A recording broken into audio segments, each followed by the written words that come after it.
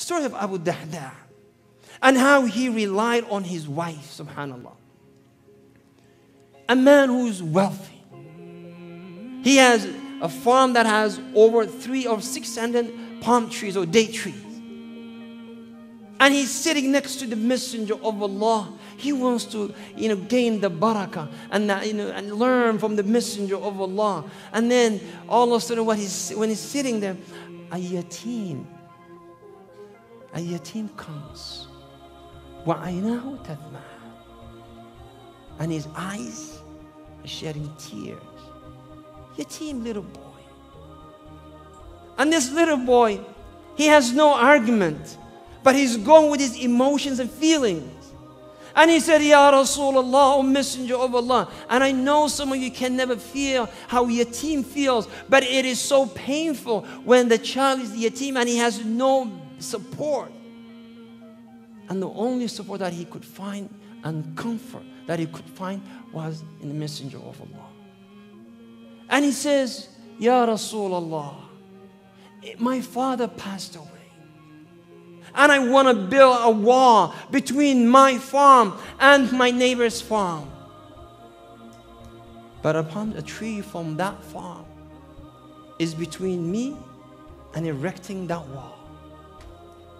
فقلت لصاحبي I say to my neighbor أعطيني إياه give it to me it's just a one tree you don't need it give it to me and he said no I said then sell it to me and he said no and I said والله لا أرفعنها إلى رسول الله I will take this case to the messenger of Allah so the messenger of Allah who was raised as yatim and he knows the feeling of being a yatim and how painful it is. He said, Let us call that man. So they called the man. فقال give, it, give him the tree. And the man said, لا يا رسول الله. A man from the Ansar he said, La ya Rasulullah. And we love Ansar. And from the sign of Iman, that we love the Ansar. And from the sign of Nifaq is to hate the Ansar. We love them. But this Ansari, he said, La ya Rasulullah. My haq, my tree, I'm not giving it up. فقال sell it to him. قال لا. فقام الرجل. The man stood up and he left. You can imagine how devastated that child was, how upset, how sad that child was. And then the man, the messenger of Allah said, Ya hada. He said, Yo, yeah, yeah, this, yeah, my brother. He said, Listen, I give it to him, and you have a tree in Jannah. He said, I don't want it. I don't want that tree in Jannah. I don't want it. He, he's so upset. Abu Dahdah, he got up and he walked behind that man. فقال يا فلان أو فلان Do you remember? Do you know my farm? جنتي. He said, who doesn't? قال فهي لك بتلك الشجرة. He said, it is yours for that tree. قال أتستهزئ بي? Are you making fun of me? قال لا والله. It is yours for that tree. فقال خذها لا خير في شجر شكيت فيها إلى رسول الله There is no khayr in the tree that I, my, the case was taken to the messenger. I don't want to take it. And I'll take it 600 trees instead of that tree. So the man Abu Dahdah came back. فقال يا رسول الله Is that reward still stands still there?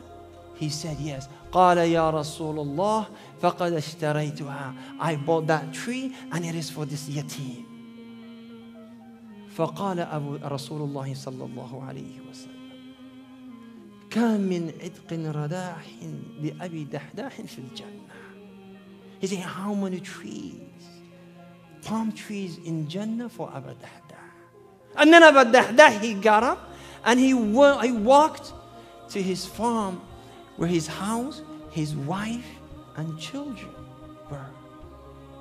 فقال يا أم الدحداح يا أم الدحداح and she said لبيك يا أبا الدحداح قال اخرجي said get out of the farm قالت لما why قال فقد بعتها I have sold it she said to whom قال لله ولرسوله I sold it to Allah and His Messenger.